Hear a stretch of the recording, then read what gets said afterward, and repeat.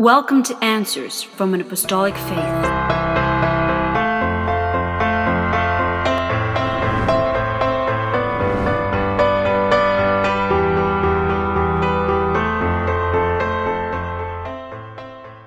In the name of the Father, and the Son, and the Holy Spirit, one God, Amen. Today, my beloved, we continue our series on the Holy Trinity. We ask the question what are the biblical proofs for the Holy Trinity? Now, for those of you who have been listening to some of the videos we've recorded, the very first video, we discussed what the doctrine of the Holy Trinity is. And if you have not yet done so, I would suggest that you watch that video prior to this one. It will set the foundation for the discussion that we will have in this very specific video. Now, in the first video, we discuss what the Orthodox Christian faith teaches about the Holy Trinity one God, which is three persons or hypostasis in one essence. But where did we get all of this information? As a matter of fact, the word Trinity does not even appear anywhere in all of Scripture. So, what scriptural evidence and biblical passages does the church use to explain how it formulated its doctrine on the Holy Trinity? Well, let's go ahead and see what some of those passages are. Now, let's be very clear, my beloved. Although the Bible may not explicitly use certain terminologies and words or address specific themes, it does not mean that the implicit doctrines found within Scripture have nothing to say on certain subjects. While the Bible may well be silent in addressing specific subjects or using specific terms, when we combine what is explicitly taught within Scripture, along with the wealth of knowledge that we received from Holy Tradition, the church can formulate all of the necessary teachings that we have that are revealed to us by the Holy Spirit. For instance, as we stated, the term Trinity does not appear in the Bible. But the Bible does very clearly and several times over refer to God as Father, Son, and Holy Spirit. Let's take a look at only a few of these many cases. Let's read Genesis chapter 1 verses 1 to 3. In the beginning God created the heavens and the earth. The earth was without form and void, and darkness was on the face of the deep. And the Spirit of God was hovering over the face of the waters. And then God said, Let there be light, and there was light. Now, in this first example, at the very opening words of Holy Scripture, we suddenly see the appearance of God Almighty, the Father, the unbegotten, who is the source of everything. And then we also see his spirit that hovers over the waters.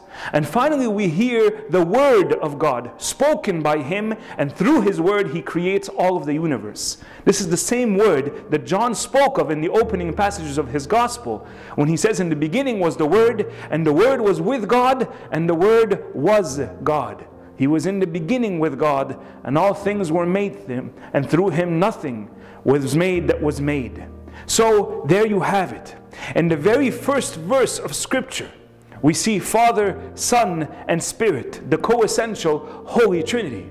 Later on in that very same chapter, Genesis chapter 1, God does something interesting when He is about to create humanity. And Scripture says the following Genesis 1, verse 26. And then God said, Let us make man in our image, according to our likeness. Here we are introduced to something interesting. Although the author of the book of Genesis has always spoken about God in the singular form, he suddenly quotes God saying that he is an us. Let us create man in our image according to our likeness. We now see a different side to God. That He is one and yet He is diverse. He is unity and yet He is community. Yet another scriptural reference on how we understand the Trinity. And then we fast forward to the teachings of Christ Himself after the resurrection, where He is commissioning the disciples to spread the gospel everywhere. And He says the following Matthew 29, verse 19. Go therefore and make disciples of all the nations, baptizing them in the name of the Father and the Son and the Holy Spirit. His insistence that they be baptized in the name of all three Father, Son, and Holy Spirit is a clear demonstration as to how you cannot come to know the one God unless you know Him as three persons.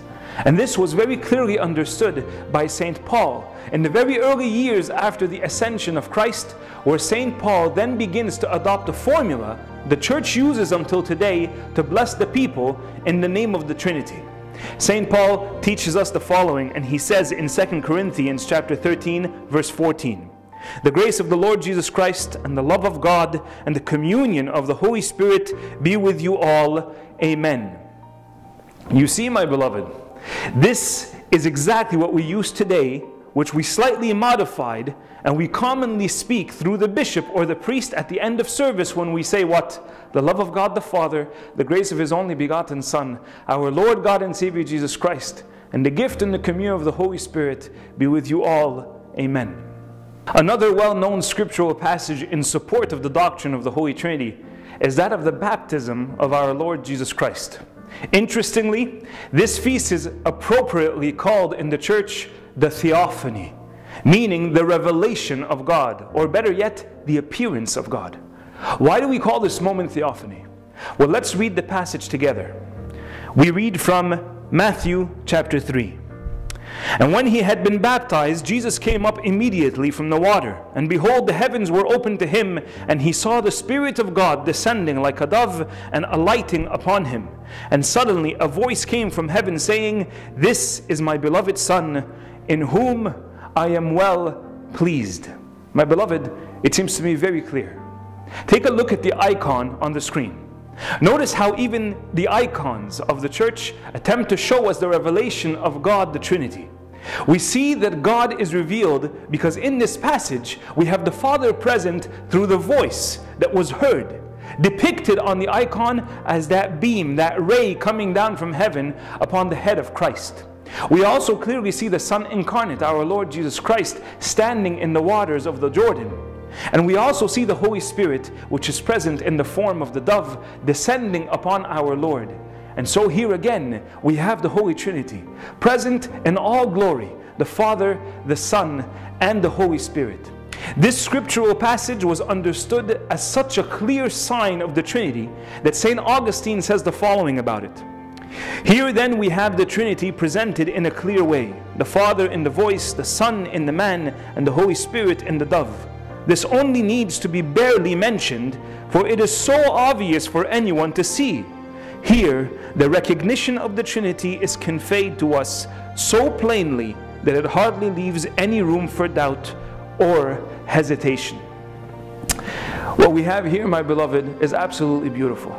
Therefore, if anyone tries to tell you that the Trinity is not scriptural, tell them to look again and to look closely and they will see God as He would have Himself revealed to us in Scripture.